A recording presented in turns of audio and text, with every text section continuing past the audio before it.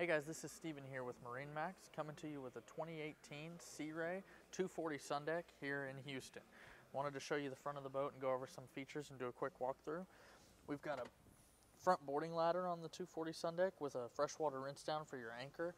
Um, so you can keep everything clean up front, as well as a storage compartment down here for the anchor, rope, and chain. You've got two storage compartments here that are actually insulated coolers on hinges that drain overboard as well as some nice features in the Sundeck series, including drop-down armrests and diamond stitching in the upholstery. You come up underneath of the helm as you walk through. There's table storage for the table that you'd use at the bow or the back of the boat, um, as well as some other general storage there. There's a walk-through wind door that comes open, as well as I, I missed a ski locker here in the front and one in the center of the boat. Lots of storage in this boat. A pretty well-sized head compartment for a 24-foot boat with a pump-out head. You can see your boat covers and other things in there, so also a good storage compartment.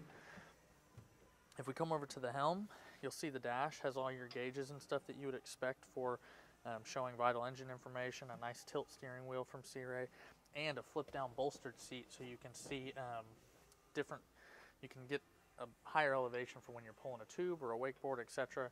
You've got your throttle controls and a Rockford Fosgate audio system that has Bluetooth capability, USB auxiliary, etc.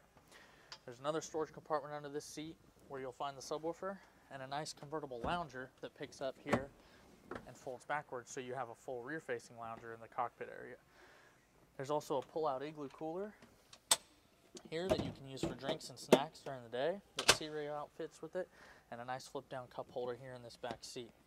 In the engine compartment, We've got the newer 4.5 liter Mercury 250 horsepower V6. Plenty of power for this boat to really have a good time out on the lake, pulling water sports, tubes, etc., and really just enjoying your time on the water. At the back of the boat, you've got a flip-up backrest here, so you can enjoy viewing at the back. And of course, the water sports tower with Bimini, where you have a tow point for tubes, wakeboards, etc. This is the 2018 Sea Ray 240 SDX at Marine Max here in Houston. My name is Steven Smith. Come see us today.